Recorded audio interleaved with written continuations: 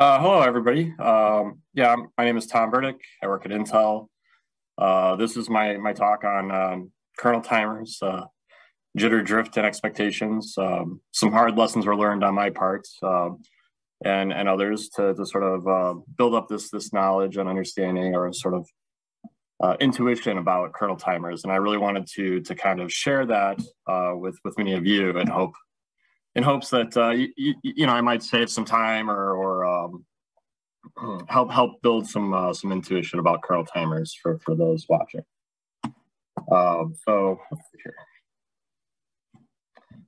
I guess let's let's talk about what the idealistic uh, kernel timer might look like in Zephyr, right? Uh, we call you we create our timer with uh, either, either a macro or k timer init, and then we go in, and we want to set up uh, a timer to to occur with some sort of delay or period. Uh, maybe we give it a you know a delay of one millisecond and a period of one millisecond, and, and the expectation then is, you know, we get our our function call back uh, at exactly one millisecond after we call starts, and thereafter every millisecond that passes, we get a, a callback and our code runs. And uh, really, the in the ideal scenario, the, the only thing that would ever cause any sort of problems with with uh, you know the that exact one millisecond period or delay would be uh, you know the hardware right? The the our clock source is actually you know oftentimes a crystal or an RC oscillator. Those things have uh, you know small small variance in, in timing. But uh, that would be the ideal scenario right? Um, exactly one millisecond every time no problems no delays no drift no jitter.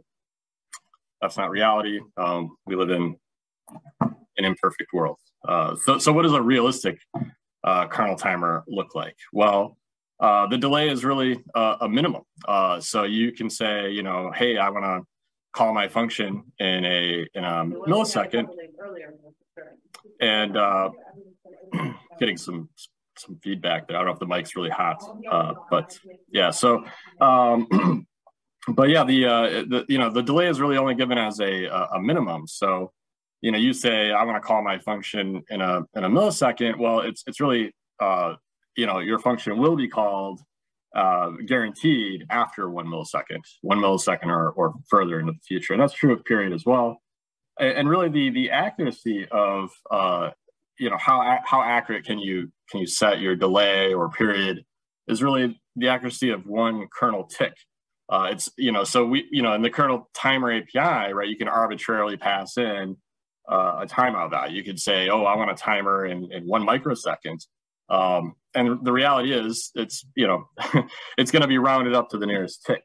Um, and, uh, you know, the, the other thing about a realistic kernel timer is there's very likely uh, some jitter in, involved in, in, in, your timer. So, you know, trying to rely on, on a kernel timer uh, for, for uh, you know, exact periodicity, periodic behavior you know there's some things to look out for. It's not that you can't make it work uh, well in that in that scenario but there are a lot of sort of gotchas and uh, you, you, know there's some things to kind of keep in mind uh, when doing that.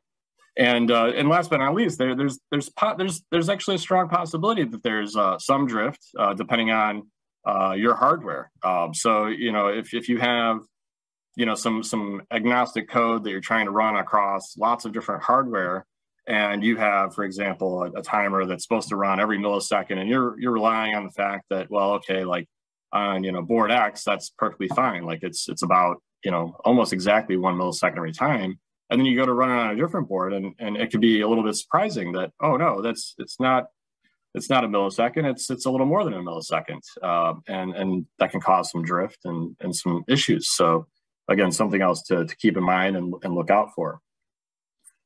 Um, so I guess yeah, like like what is what is clock jitter? I mean, I, I think probably many of you already know, but some of you don't. And uh, and what are the sources of jitter? So so jitter is sort of a loss of precision. So um, if if I you know set my timer for one millisecond, and it's sort of like uh, you know here here's one millisecond, and the reality is it's like it's kind of firing like you know in this this window of time after, and the, the wider that window is, the the the less precise my timer is so that's clock jitter. If you if you kind of imagine like, oh, the timer was scheduled here, but happened here or here or here or here, over and over and over again, um, that's a loss of precision. What can cause that uh, for kernel timers? Well, there's many potential sources of jitter in, in, uh, in Zephyr with kernel timers. Uh, interrupt masking may introduce jitter, which includes if you go to use uh, like an IRQ lock or a spin lock, um, if you have higher priority interrupts than the, than the timer interrupt in, in your hardware, uh, that can also prevent uh, the, the timer interrupt from firing. And then there's some jitter, there's some delay in, in getting back to, to the, the timer system and getting your call back and all of that. Um, executing from, from flash uh, can also you know another source of jitter right you, hey like uh, my timer interrupt fires i got to go fetch code from flash to then load into sram okay, well, that might take a minute. Uh, well, not a minute in reality, but you know, a little bit more time than than maybe expected. Uh, so, so a little bit more time from when the, the timer actually fired to when your code runs. Um, multi-bus masters, uh, you know, SOCs, right? Where maybe you go to try to touch some hardware or some memory, um, right? There's some some bus arbitration that needs to happen. There's some delays. Uh, variance in memory access time. You're, you're trying to, you know, touch, um, you know, tightly coupled memory versus SDRAM off off in uh, off on the board somewhere that might might take some time. And of course, you know the hardware clock itself uh, can be a source of jitter, but probably not a realistic one. In, in most cases, most people are probably going to be using crystals. Once you're using like a you know 555 or an RC oscillator or something, then all bets are off, right? And so what, you know, what do I mean by uh, clock drift? Clock drift is really a loss of, of accuracy. Um, so, you know, if we kind of go, you know, I think a lot of people think about, uh, not right now, right now, sure. Um, sorry, my daughter came up to say hi. Um, yeah, so if, if we think about uh, what, what a, you know, precision and accuracy might look like, um, you know, we, we kind of think about the dartboard maybe and accuracy is, um, you know, like the, the center of the, the bullseye would be uh, perfectly accurate and off to the right. We're hitting all our darts in the right spot, or we're hitting all our darts in a, in a nice little tight circle, but it's, it's not in the right spot. And that's drift. And, uh, and that can be caused much, uh, you know, the only thing that I know of that, that would cause drift in, in, uh, in Zephyr kernel timers is really the, uh, the, the rounding. So uh, the, the minimum, and, and also, yeah, like you, you, the minimum unit of time that you can really schedule things is one tick.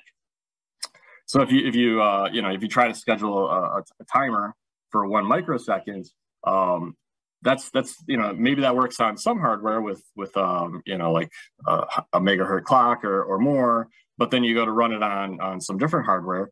Maybe the clock is oh I don't know 32.768 hertz, like it is on a, a Nordic board uh, for the most part, or maybe if on NXP board with the low power clock it's not going to, you know, you're not going to get a one microsecond scheduled uh, timer. It's going to be all sorts of, um, uh, you know, uh, off. So, um, yeah, so then, uh, right, the conversion from from fixed to uh, clock cycles can cause drift, and, and drift is the result of all that. Um, and uh, yeah, so what are the expectations of kernel timers then, uh, you know, given all of this, right?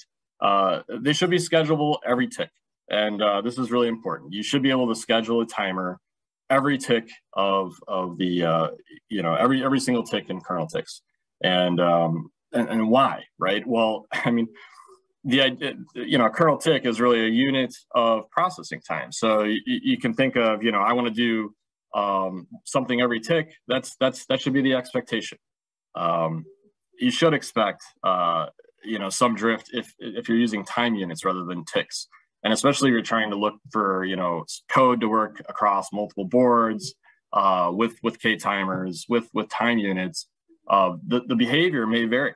Uh, and this is something so it's not it's not always hardware agnostic to simply say i have a k timer with a one millisecond timeout.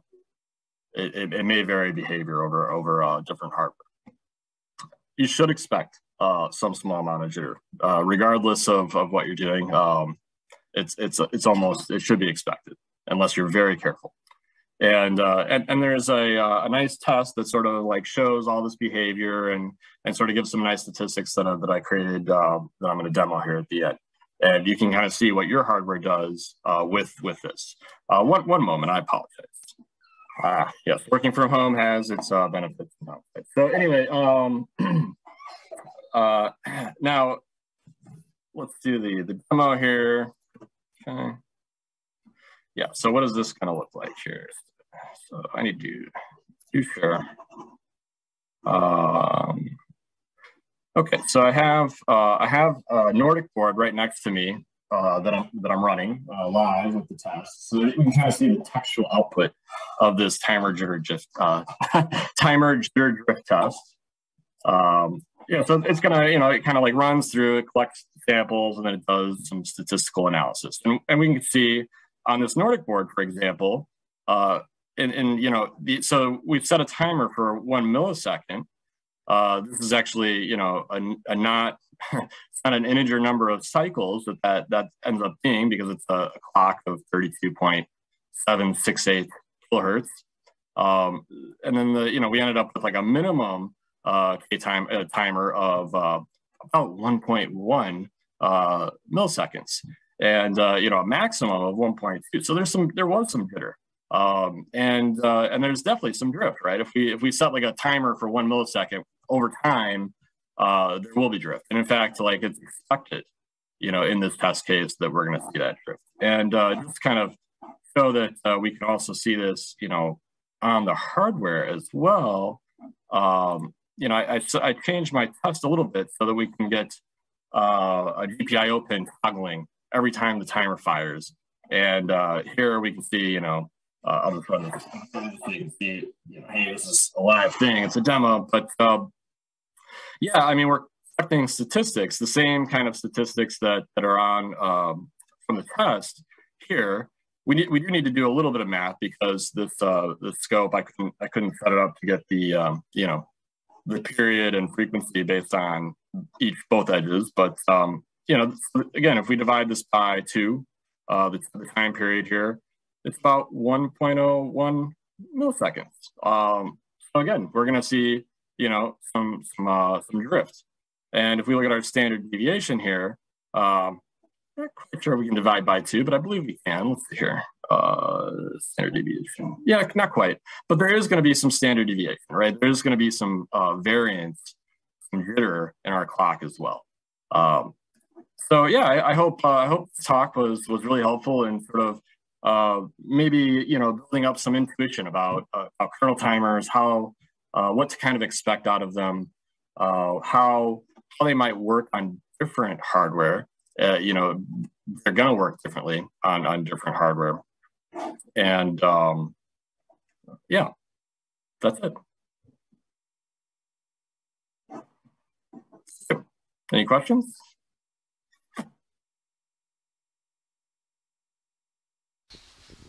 Great.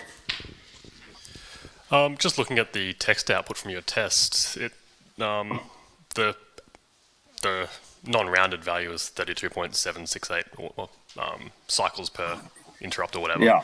But the minimum was 36. Like that's a substantial difference. Um, it, it, it is. It is. It's um yeah. So in th- in this case, uh, for let me share that again. So this this is a you know this is a Nordic board, and if we look at so this is kind of tied into uh, the kernel tick rate.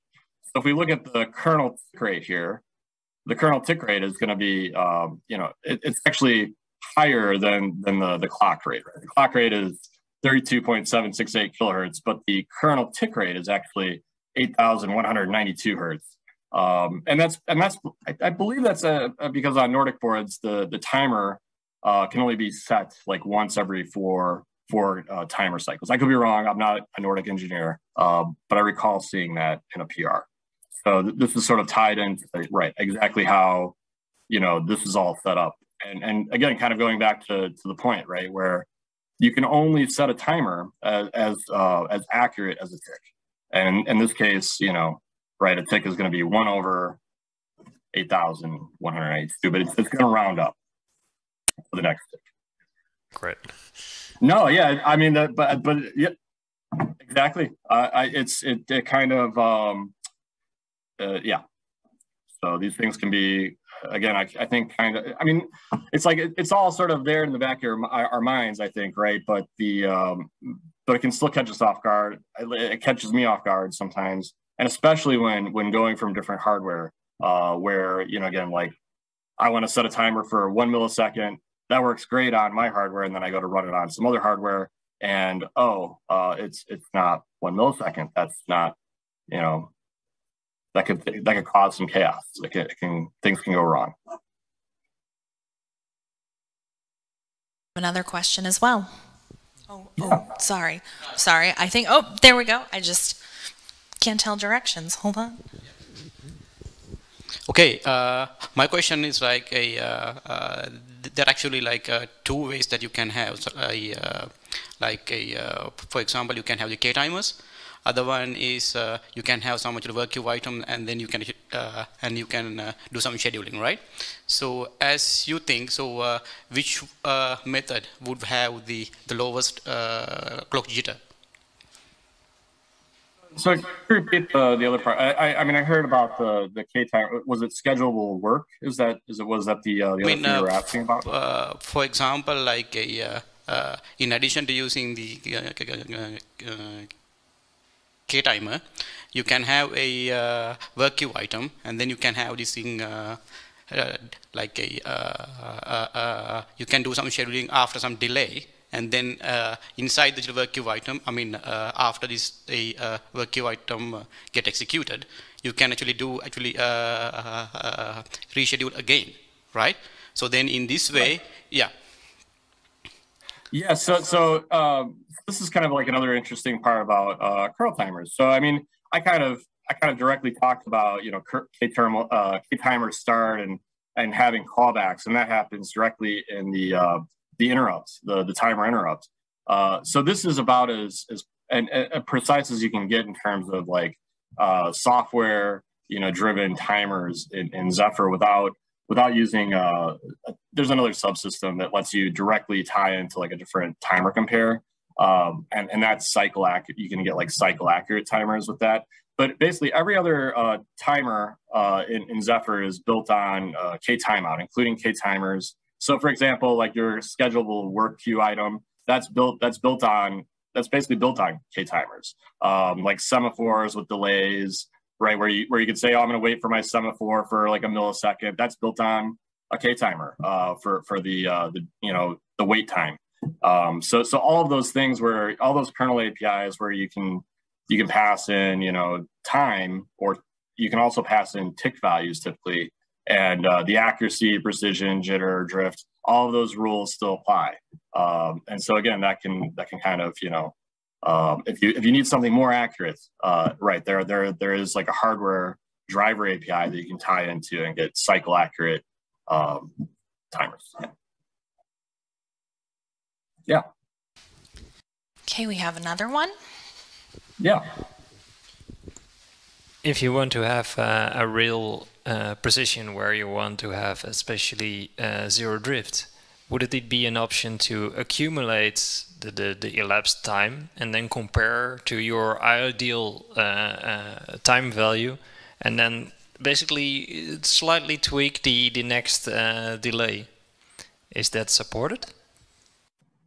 that's absolutely so. It's it's not directly supported by any kernel API, but you can do that. So, you, like the so here, you know, on my screen, right, you see cycles and and and all this stuff, and you you can actually get uh, there. There's you know, K cycle get uh, APIs where you can get the uh, cycle count of the timer and uh, and base your you know base your your next timeout on that. So rather than setting like a period, so exactly like what you're talking about, right? But there's no there's no automatic um, periodicity like try you know like there's no API to do what you're talking about where it tries to you know if you if you go too far, it kind of shifts it back. Uh, there's no sort of like API to, to deal with that in, in the kernel. I think it would be a cool API um, as sort of like a, a build, you know, a library that you could build on top of kernel timers. But the way it is now, it's it's not done that way. I think predominantly because that it, it adds more logic, right? There's more code that needs to happen to make it work that way. Um, but yeah, that would be a really cool addition uh, as as sort of like a you know a little uh, layer on top of these. But no, it does not exist but you can build it yourself in your application if you so choose. Okay, and we do have a virtual um, comment that someone wanted to add, which I think relates to what you were previously talking about. But they say, just wanted to add a comment that setting your scope to infinite persistence is also a nice way to eyeball jitter on clock. Absolutely. Yeah. In fact, uh, yeah, right. Exactly. So, so if you do that, you'll start seeing like the, you know, kind of the fuzz, the fuzziness of, of where the, the edges are, uh, sort of spreading out. It'll kind of look, look like, a, I mean, ideally it'll look like a little bit of a Gaussian, right? Like it'll be really bright in the middle and then fuzzy, um, as, as the sort of the, the window of, of jitter is there. Um, and, and you can see that definitely. Yeah. It's definitely a cool way of doing it.